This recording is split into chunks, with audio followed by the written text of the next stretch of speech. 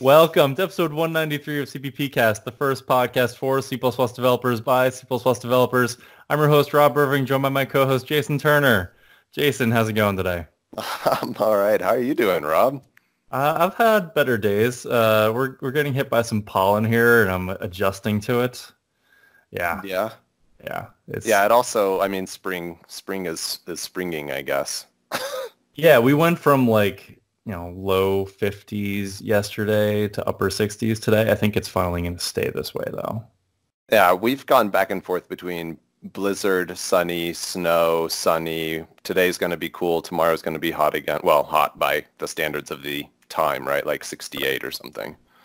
Yeah, I think that's what we're at today. But hopefully, uh, we'll we'll start maintaining it here in North Carolina. Right. Yeah. Okay, uh, at the top of episode, I'd like to read a piece of feedback. Uh, this week, we got a tweet from Aditya Srikumar. Hopefully, I'm pronouncing that right. Probably not. Uh, probably not. Um, and, and, they're saying, uh, why do so few IDEs have easy support for building and debugging within a Docker container? VS Code was the best option so far, uh, and considering CLion and Eclipse as alternatives. And they're saying CPPcast would be great to get other perspectives. Um, I had heard about VS Code being good for Docker debugging because I saw this blog on the Visual C++ blog a couple weeks ago where mm. I think it was Mark Goodner uh, went through how to set it up to debug onto a Docker container. But I don't know about any other IDEs and, and you know good support for Docker. Do you, Jason? No, I've never even considered it. Like the thought of de- needing to debug and Docker has n- literally never crossed my mind. Okay. well, if you're listening to this and you have, uh, you know, had a good setup with Docker and uh, any, you know, C++ IDE, feel free to tweet at us or send us a message so we can uh, get this listener some help. Yeah, I mean, it gives me flashbacks of having to do debugging on remote embedded devices. It's probably the same set of problems, really. Yeah, I don't think so. Okay. Well, we'd love to hear your thoughts about the show. You can always reach out to us on Facebook, Twitter, or email us at feedback at cppcast.com. And don't forget to leave us a review on iTunes. Joining us today is Marcus Tillmanns and Tobias Lensing. Marcus is currently the main software developer of Boden. He has a strong background in C++ graphics and UI development. He worked with Qt for many, more than 10 years on audio software and embedded projects. And Tobias is currently working as a software developer and product manager on Boden. He's passionate about startups and entrepreneurship. Tobias has a background as CTO in audio software, cloud technology, and web development. Guys, welcome to the show. Thanks for having us. Yeah, thanks. wow. Uh, so you spent 10 years working with Qt, not working on Qt. Is that correct? That, that's correct, yes. I am definitely going to ask more questions about that later when we're talking about Boden. Please feel free. And uh, just so we our, our, listeners know who's speaking, uh, can you both like say your own names? You know. I'm Toby. and I'm Marcus. okay, great. Uh, yeah, so we have a couple news articles to discuss. Uh, feel free to comment on any of these, and then we'll start talking more about Boden. Okay. Great. Okay, so first, uh, obviously, I talked a lot about this uh, two episodes ago when I was out in Redmond talking to the Visual C++ team. But Visual Studio 2019 uh, officially went live yesterday on April 2nd. You can now go and download it and you know check out all the new features. And there are, are several new things for C++ developers, which is great. I find this interesting that the Ars article mm-hmm. says, you know, with this world of rolling releases, why do they even bother giving it a new version number? It does make you wonder, like, is there going to be a day where they just have it like be, you know, Visual Studio X or something like that, and it just becomes the Visual Studio for the rest of the time that they just continually update? I yeah, I, I I I get it from because I do a lot of training at like at companies, right? Mm-hmm. And companies they they look for a number, right? while we need right. to spend the effort to upgrade to this new thing now. Yeah. And I don't know this. I feel like that could swing either way. Like my gut would be that most companies, if if from here on out, Microsoft never gave a new version number, they just patched it. They'd mm-hmm. be like, well, we can't move past 2017 because 2019 is just too unstable for us, or something like that. Right, and I guess it's, it's worth mentioning Microsoft has done that model themselves with Windows 10. I mean, they're saying Windows 10 is going to be it forever, and they're just going to keep updating it. Yeah. Um, the the one thing worth pointing out is um, they did this with Visual Studio 2017, where if you wanted to upgrade but for some reason couldn't update your compiler, then you could switch to 2017 and still use the 2015 C++ compiler. So I did that again. So if you're using wanting to upgrade to 2019 but still need either the 15 or 17 compiler, you can do so. Um, I don't know how long they'll keep that going before they introduce a breaking change and need, you know, someone to actually upgrade and use the new compiler in order to use the new IDE. I don't know. No idea. Yeah. Are you guys uh, Visual Studio users? Well, we have to sometimes, but not not really. I used Visual Studio a lot, but that's that's a long time ago. And I guess uh, for for Boden, yes, we we use it. Um, but at the moment, we are only focusing on on Android and iOS, so that that's not really a Visual Studio job. So um, no, currently not really. You? Um, me neither. Um, in, in my previous work, um, we had people working with Visual Studio. We already did cross-platform back then on, on Mac and Windows and, and embedded stuff. Um, but we've, like I would say, most of our people switched away from, from Visual Studio at some point. Yeah, and we I remember in the in the in the beginning of Boden we tried a lot and, and had a lot of issues with different compiler bugs with uh, and mo- moving from uh, uh, Visual C++ uh, 2015 to 17 was rework. We had to change a lot of things. Um, I guess at the moment we are quite of enjoying that we can work with Clang across platforms because we don't have to take care of so many uh, different details. Yeah. Right. So, but I guess that's the reason why they are supporting um, the old compiler in the new version. Yeah. Yeah. Okay. Um, so earlier this week it was April Fool's Day. Uh, I wasn't was. paying too much attention to April Fools, but we do have one article here uh, that was an April Fool's joke. Uh, C++ 23 full pointer to replace null pointer. Yeah. Uh, I, I did not fall for this one, but it sounds like some of the people in the comments did, though. Yeah. I, I must I, I must admit I, I fell for it like halfway through the article and then- then I was like, no, this cannot be true. I, I like the, the, the Reddit comment uh, saying that uh, some guy was saying that he was missing ha- a, a STID half pointer Right. for 16 bits uh, use cases. Yeah. I um I didn't fall for it because I just I didn't I didn't expect anything to be true on April 1st, basically. So Mhm. everything I read I assumed was a made up story, even the like serious stuff going on. But uh there's actually like I'm reading this I'm looking at it and I'm like think there is almost an argument for this. And that is the embedded users who complain that zero is a valid memory address on some devices. Oh, okay. That's but true. on the other hand, like actually using this would be like impossible. How would you ever check for null, really, right? Or check for an invalid pointer? Yeah. I like all the uh, fake quotes from everyone about how great full pointer is going to be. Yeah. Yeah, So awesome. I assume this was intentional, but the first one is quoting Bjarne Stroustrup. That is not Bjarne. That's not an older picture of Bjarne. I, I Oh, little no. confused about that. Okay. That is definitely not. I, I looked, I actually looked at the file name to see who it was. That's James Gosselin. okay. Uh, Gosling. That is, that is the creator. Who's, he was involved in what, Java? Am I getting that right? Oh, that's pretty. I'm going to get in trouble Okay. real bad, aren't I? James Gosling, who is Who is James Gosling? Come on, someone. I uh, basically don't yeah. know. designer behind the Java programming language. Beyond or- Java. Okay, good. Phew, I don't That's lose my funny. geek card on that one. Yeah. so that part was not an April joke, probably. I don't, yeah.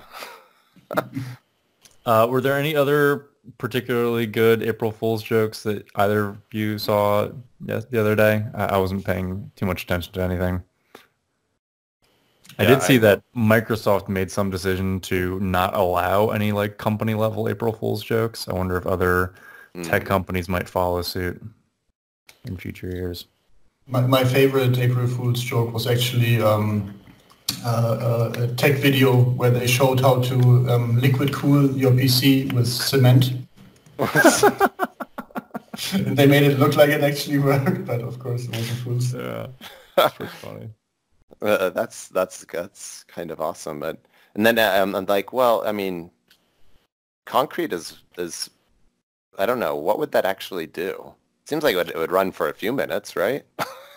like, Supposedly it has, it has very good heat capacity and stuff like that. so- right? Yeah, that's what I'm thinking. Hmm. I'll have to try that. I'll dump some concrete in my case after this. Sure. My brand new Ryzen build. Okay, and then the, the last article we have is uh, update to Conan, and this also actually came out on April Fools, but as far as I can tell, there's no April Fools jokes uh, within this uh, release notes article. Um, it looks like the big change they made with Conan 114 is revisions. You can now uh, set uh, revisions when you're uploading a new recipe. yeah, that could be handy. Yeah. Are you still using Conan a lot, Jason? I spent a lot of time with it in the last couple of weeks, actually, for a client. Um, some of these things I find, like the CMake find package multi, I'm like have read it a couple times now, and I still don't see how it really differs from what we are already doing with multi generators for Visual Studio. But I'm gonna have to spend some time with that and figure that out. That might be helpful to us, and I'm definitely interested in some of these things. But I'm totally a newbie at actually like creating and deploying my own packages. Right. Okay. Are you deploying like ChaiScript using Conan or anything like that? No, no, no. This is all, uh, well, well, I, I, I guess there's no harm in saying it's for custom Ruby builds that are needed for an embedded Ruby in the project that I'm working on that's open open source. Interesting. Um, okay. Which, for everyone listening, never embed Ruby in your C++ project. This has been like 10 years of pain on this project, and I'm not exaggerating. It is, it's, it's never straightforward, and particularly if you need to support multiple platforms and multiple compilers. Okay, that's good to know. It's not designed for it. Use Sol 2. Talk to the PhD. Something. Yeah. All right. Uh, so Marcus and Tobias, do you want to tell us about the Boden cross-platform framework? We we talked about it, I, I guess, late last year in a news article when we, we Yeah, saw something about it. But uh, you know, why don't you uh, tell listeners more about it? Yeah, so um, Boden is, is our uh, framework project. Um, we've been uh, developing it at, at, uh, on it for quite some time now, and it's it's aiming to be an application framework. And right now, it's specifically for mobile applications on iOS and Android to allow you to write C++ applications and compile them both for iOS and Android. Is it a project that you are working on full time? Yes. Yeah, Okay. it's a full-time project and it's um, it's it's funded by the company we work for. Yep. Oh, okay. Okay. So the company you work for, are you like already making production level iOS and Android apps using Boden, or are you just working on the framework? Not yet. The, the framework is not um, advanced enough right now to really um, get a production-ready iOS and Android app out there. But I guess we aren't. We are pretty near. It's Yeah. it's not.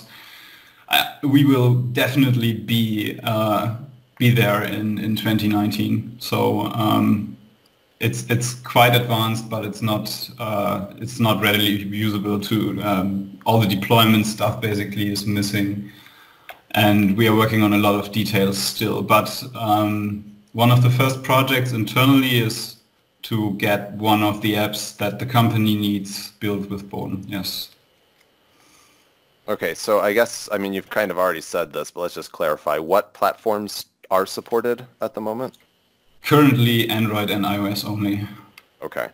Um, do you have minimum versions required for those platforms?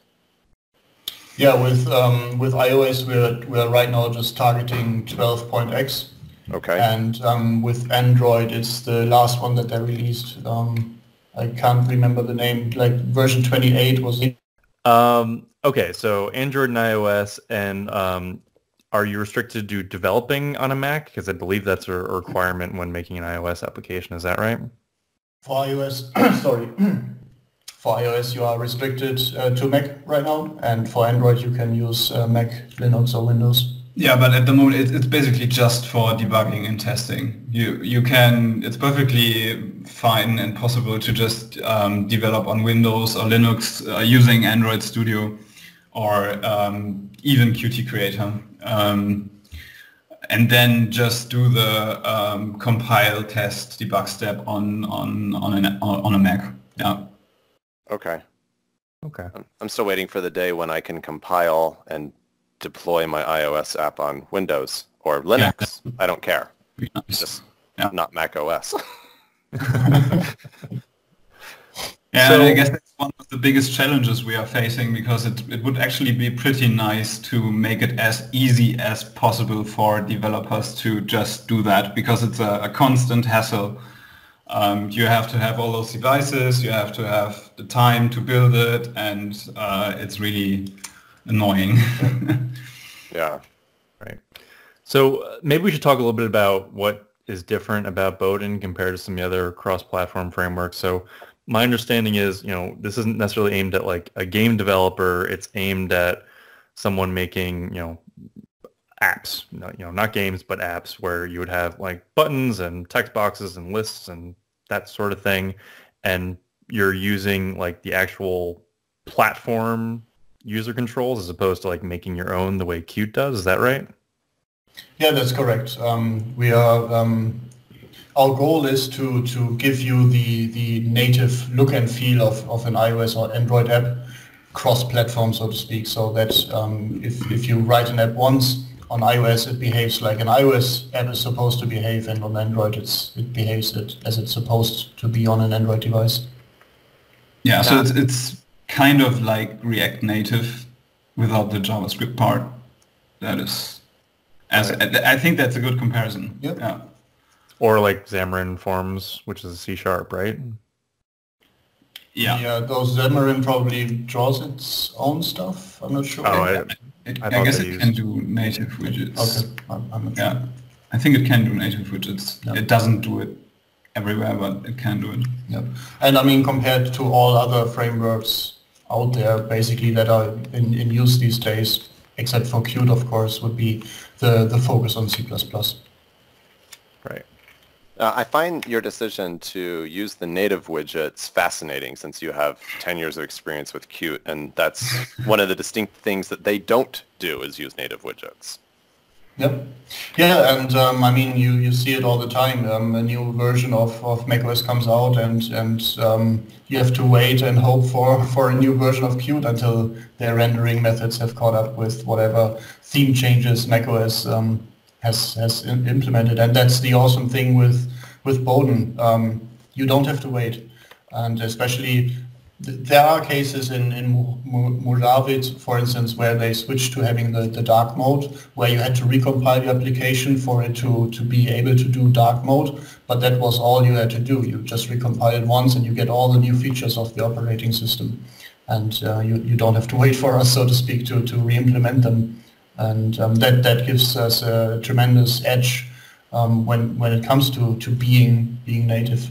Yeah, and also I think most of the frameworks trying to to render their own stuff, they they always fail at some level of detail. It's it's just a question of, of how far into the detail you need to go. So um, for example, especially on mobile devices, the field of gestures and how it behaves and how it animates, that's, that's quite hard to match with uh, a non-native renderer. And a lot of work goes into that. Um, so that is also a reason why we decided to do that because it's just um, a shorter time to life. I guess it's, it's just easier for us to get um, a broad range of controls and everything finished um, in the framework um, before we have to even consider writing a renderer and writing input uh, protocols and everything that's needed. I mean, it gets it gets quite nasty if you go into text input and the details of that, and you you quite quickly reach that point. Right. Yeah, so rendering. we basically don't have to yeah. care about that. Yes. Yeah, you have to. I mean, it's not only rendering; it's also getting user input um, into the application, and that requires that you have all the, the, the details ready for typing stuff on a virtual keyboard and so on. And it's, that's quite, quite nasty to implement if you don't use the, the native controls of the platform. So uh, does uh, that limit you in some way because you're stuck to the what intersection of all the features between the Qt and I sorry not Qt Android and iOS? Um, sure, we have to, the, the, the, the, flip side is that we have to make more sure that everything works the same on, on both platforms. I wouldn't necessarily li- say limit. I, I think so far we haven't found a, an edge case that, that was only possible on Android or only possible on iOS, but it's definitely a little bit more, more work and, and there has to be more care taken to, to make it work the same on, on both platforms. Yeah, there was there was one case where we um, we weren't we weren't sure sure about um, implementing lists and table views basically because that that is something that um, I guess React Native, for example, there it just stops being native. It it as far as I know, they just draw the um, the, the virtualization of the list and the handling of the list items and everything. That's just basically custom code because that's easier to translate between between platforms.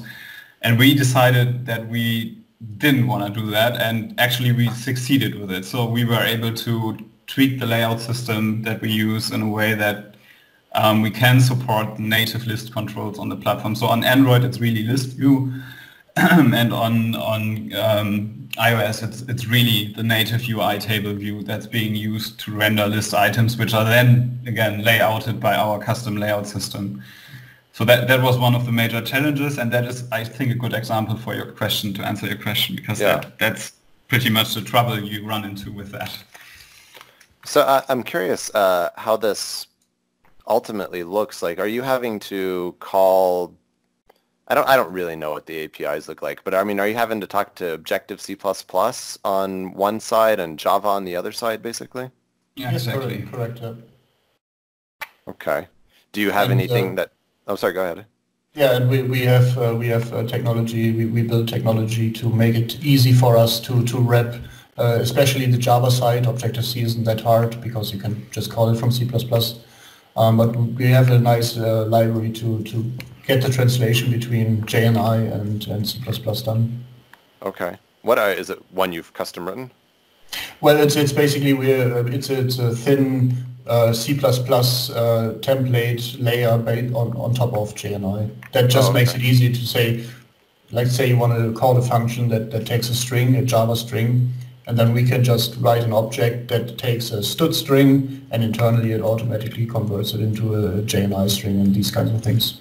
Yeah, we are pretty much working on automating most of that stuff because it's just repeating work, which is pretty pretty much the same always. Yep. So, but it's it, it's basically wrapping the Android API yep. in uh, C++ in a thin C++ wrapper. Yes. Yep. All right. Okay. Are you creating the uh, user interface like at runtime or during the compilation process? Does it create you know the Java or iOS iOS user interface? No, it's completely runtime. Oh, okay. So just you just write the C++ code and everything else is, happens at runtime. Okay.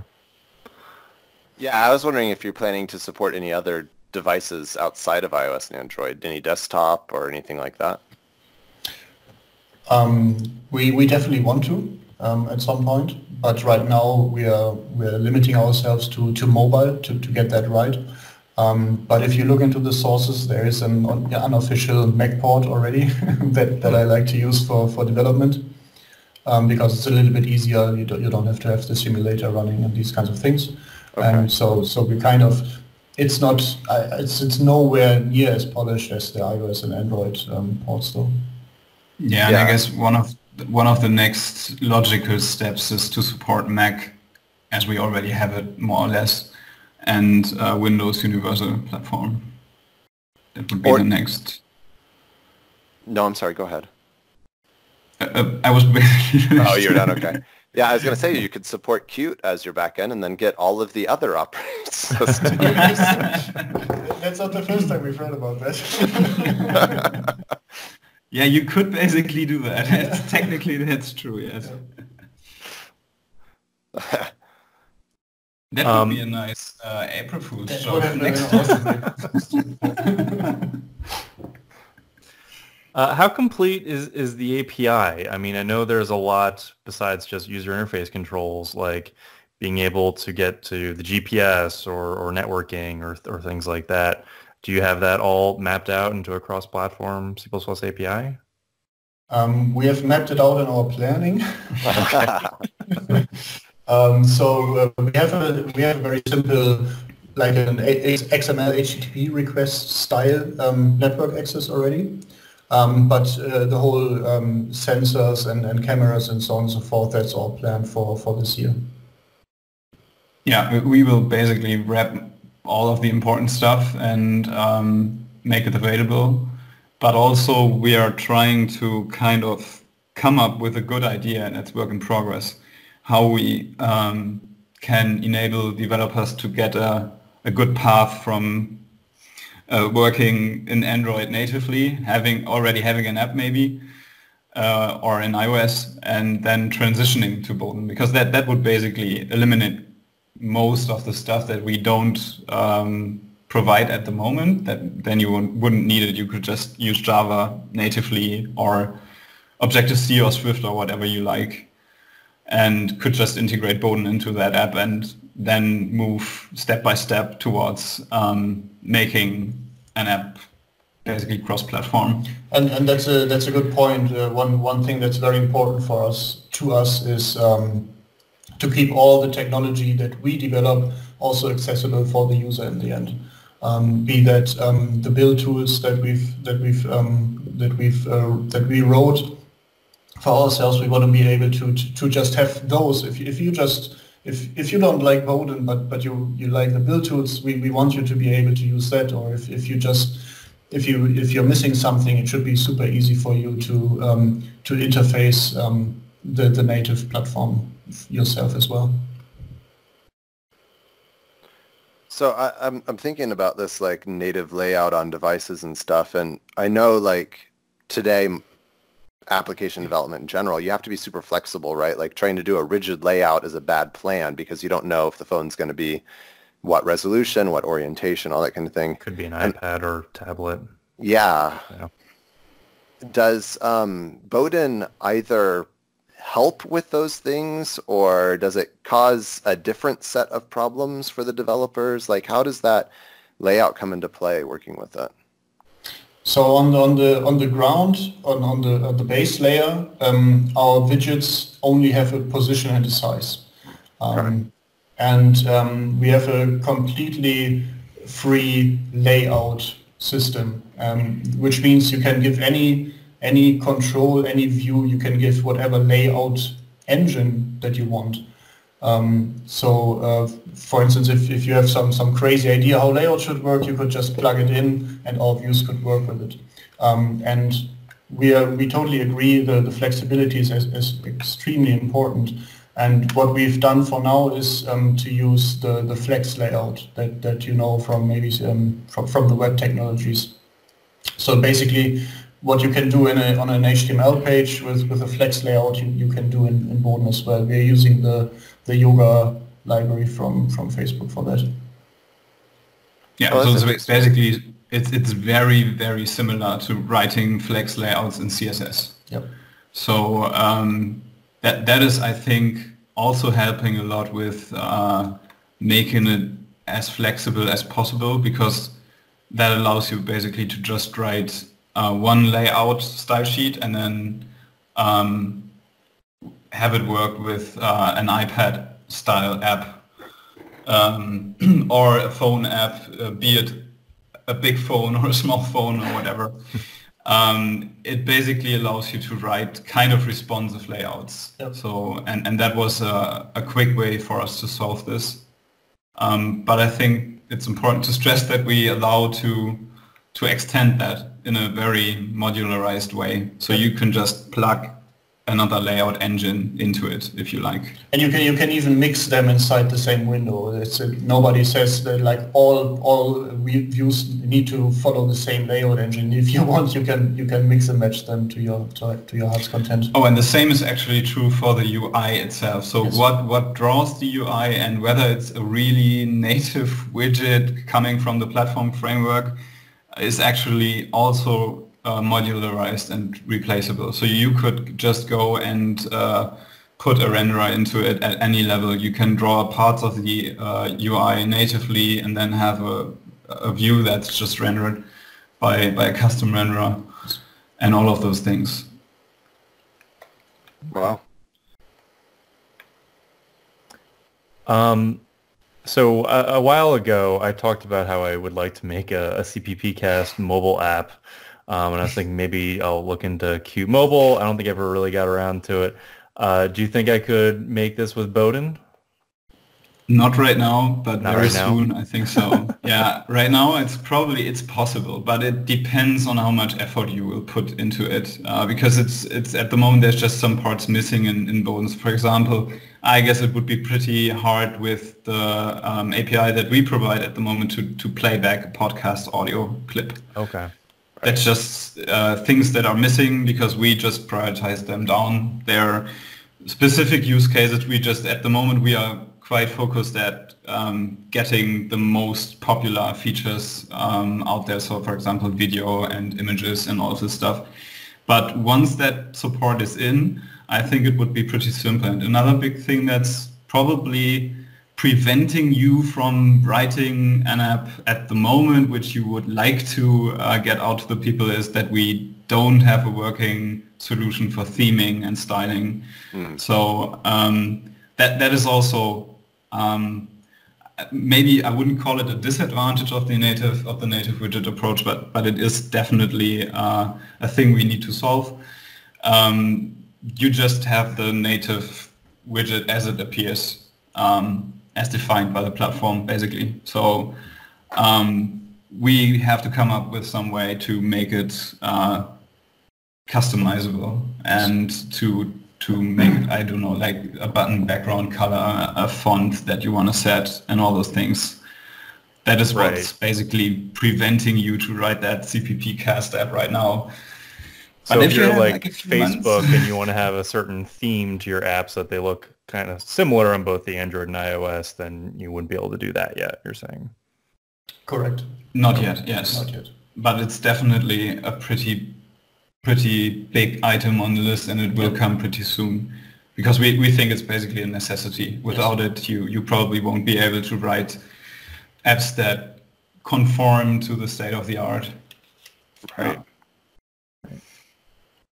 Yeah, a project that I've been involved in uses Qt, but by the time it reached a certain point of development, basically all of the widgets were just custom anyhow to get the exact look and feel that they wanted everywhere. Yeah, and then we definitely we, we definitely recognize the, the two different use cases where where you have a simple app that's totally that that that's actually better if it's just a native theme. Right. And but then there's the, the opposite side of the spectrum where you want to completely theme it, and we want to um, support both in the end.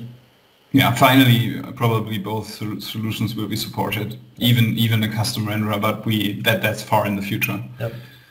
And I, I think for now, it, you can get, I think most of the apps that you would want to do today, you can get done with the native APIs pretty much. Yep. That should be possible, even with fancy animations and stuff. So right now, uh, I guess the project's in kind of a beta stage, and you can just go to GitHub and download it, and then go ahead and make your own application. Um, what are the future plans for it? Is this going to be? Is it going to remain open source, or is it going to be some type of enterprise licensing? It will definitely remain open source. And um, we started off with the GPL, which was kind of a safe haven. uh, because we, we didn't want to risk anything with licensing. Um, to be honest, Boden is uh, a project which needs to be funded if it if it shall continue as it as it is being developed right now. So we need to uh, find a solution to also monetize the project. That's just how it is. Um, but we will, I think it's it's fair to say we, we will switch to the LGPL um, license. So it will be kind of the same open source model um, as you can find with, with Qt right now. Right. Um, and that will, the biggest problem with the GPL was that people weren't basically able to, to write an app and um, deploy it to the, to the iOS App Store because then they would have to license their app under the GPL and that would basically be rejected by Apple because it doesn't conform to the App Store terms of service. So um, wait, you're not allowed. Oh, wait a minute. yeah, that's a funny uh, thing. you're not allowed to release a GPL application to the App Store. That's that's correct. Yeah. How does that? What? Why why would Apple not allow that? because it's basically uh, the the, the um, yeah I, I will try to to make it short and sweet. It's really a complicated um, legal thing. Um, but but in the end, it boils down to um, Apple has terms in its um, App Store, iOS App Store terms of service, yeah. which basically prevent you from um, redeploying the app um, to anyone without using the iOS App Store, and that is forbidden oh. by, the, by the GPL. So, so some other developer could go pull your code and then build it themselves and put it on their phone. That That's is they want to prevent by Yeah. Okay. And that is not possible without using the services provided by Apple. So that is what, what basically makes those two things completely incompatible. Okay. That is not the case with the LGPL. So uh, basically our interest was to be still be able um, to monetize the code. We have thought about many business models, but in the end, it boils down to we need to be able to uh, to sell the code, kind of like the Qt company does it. So um, you will have the option of um, licensing it under the LGPL um, in in an open source project that can be a commercial project in theory but it cannot be a proprietary project. And if you want to uh, license Boden in a proprietary project, you basically have to um, get into a commercial license agreement, uh, agreement with us, with us, which we don't have yet, but we are working on it. And this probably will be the model. Um, it's not 100% decided, but I guess that will probably be the model for now. Okay. Okay. So it will definitely stay open source in the sense that LGPL is open source. And you will still be able to, to license it under GPL, but that is uh, only for people, I guess, working later um, on, as soon as we have desktop support, for example, that would make sense again. You could just create an, a GPL app based on Boden on desktop. But for mobile, it, it doesn't make any sense, unfortunately. Right. So, uh, I mean, this is backtracking a fair bit, I think, but I mean, we've mentioned Qt several times, but I was curious, besides Qt, if there's any other libraries that you looked at or compared to before deciding to start down what's ultimately going to be a, a fairly long road for you to get this fully completed. Yeah, definitely. Um, we, we looked we looked at all of them. all of them. really, no, literally all of them. we, had, we, had, very long, long days where, where we looked at all the pros and cons of, of the different frameworks out of out there, and and seeing um, if there is a is a niche, a market for for for a C++ framework that um, that primarily draws with the native uh, operating system uh, components. Yeah, we, we are aware that we are kind of competing with uh, big companies. I mean, there's Google Flutter, there's Facebook React Native, there is uh, Microsoft Xamarin, there is uh, uh the Qt company. Uh, so, um, but basically it boils down to um, can we provide something that is worth paying for in a sense, and um, I guess we still think we can because it's. I mean, Qt, for example, is pretty old. It, it has a really big code base. Um, just the, the, the simple act of installing Qt on your system is really, really uh, not a good experience in my point of view. And um, the other frameworks like Flutter and React Native, they are basically, we cannot compete with them. They are MIT licensed and they have a completely different business model. They don't make, need to make money. So um, what we are focusing on is basically mainly making something that is really usable and where you can, which you can use to save time and hassle um, at the moment if you are a C++ developer. We are also thinking about opening that up to other languages as well because um, I mean C++ is basically the foundation of everything and we are focusing completely on C++ right now. But I could imagine that in the future we are considering to, to support other languages as well. Um, so there's really a broad range of options I think we have to, where we could also kind of pivot if something turns out to be not working. Right. We haven't gotten too technical. Um, like what versions of C++ are you able to support with Boden? Are you using C++ 17? Yes. Okay. And uh, that's that's an important point. Is um, we we are looking to the future when it comes to technology. So as I said before, we are supporting Android 28, and we are not super concerned with the older versions. We are we're supporting iOS 12. Not super concerned with the older versions because we also have to realize that that um, like adoption will be a little ways out for most people for this framework and um, we, we see it as absolutely necessary to, to use the, the new stuff, so to speak, um, especially when it comes to C++. Um, C++ has grown so much in the last couple of years, and um, it's it would be a shame to not take advantage of that. And there's basically no one really, at the moment, there's no one really taking care of that. I, that's at least what I feel. So for JavaScript, I mean, you have this big community coming up with new stuff uh, every day, basically. Um, and there are so many new frameworks and things you can use and try out. And for C++, we now have this development that there are um, new versions of C++ coming out with new features and um, basically we are using frameworks that are 20 years old. So that is kind of the gap that we see and where, where we also see a niche which, which we could maybe fill. Yep. Yeah, it uh, brings an interesting point that I've thought about a little bit lately. So right when C++ 11 was released, or in like in 2010, 2011 timeframe, we saw a rash of libraries come out that were like something 11. And everyone like tacked 11 onto the name as they supported C++ 11. And now all of a sudden those libraries sound eight years out of date. yeah. Yeah. We're not calling it Boden 17, so. right, yeah. No, but um, but sure. Um, yeah, but but um, also when, when we look to the to, to the future of, of C++, like um, I think we talked a little bit about uh, C++ modules and um, uh, one thing that I personally very much look forward to is the whole introspection um, stuff that's supposedly coming soon. yeah.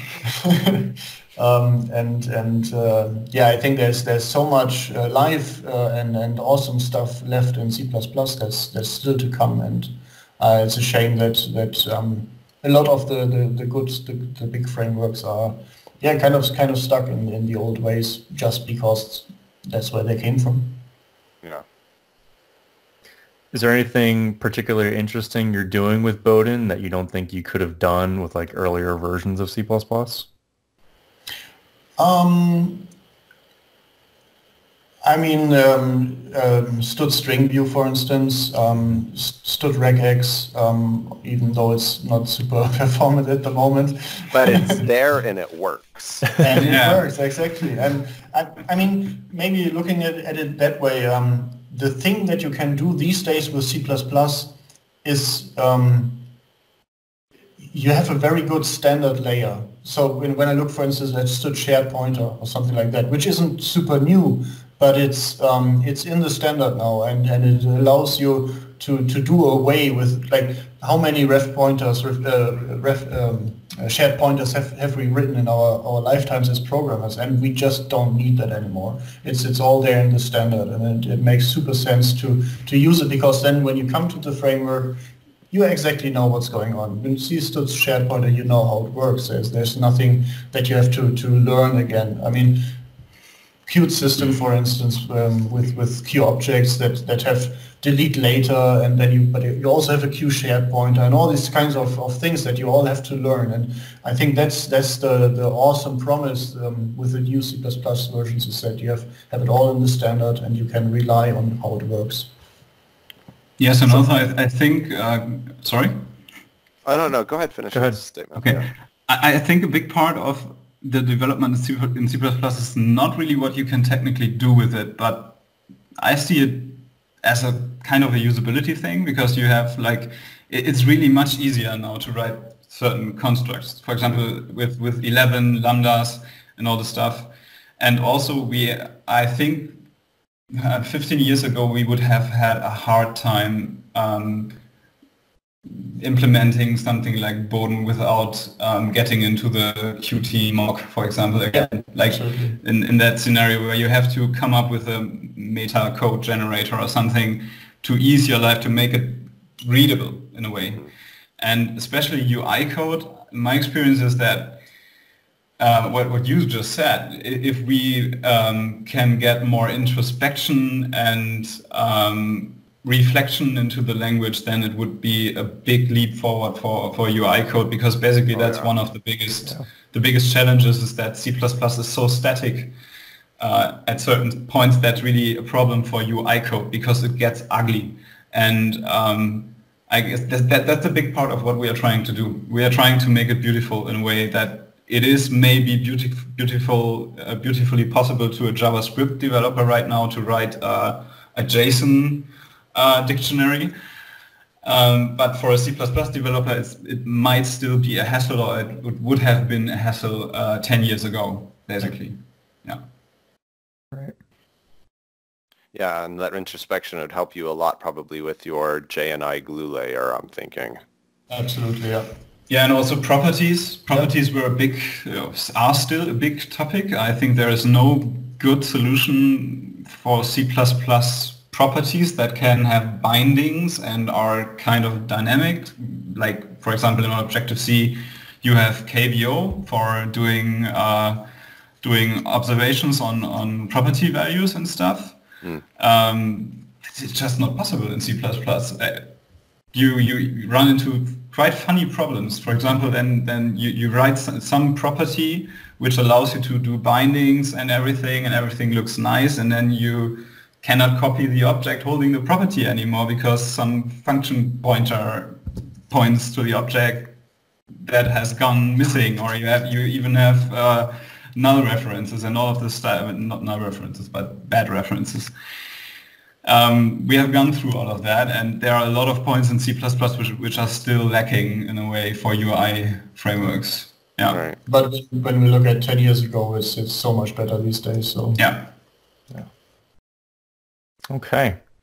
Well, it's been great having you on the show today, guys. Um, definitely keep us in the loop when uh, Boden is at kind of a later stage in his development, and you think uh, you know we might be able to go and make our own app with it. Okay.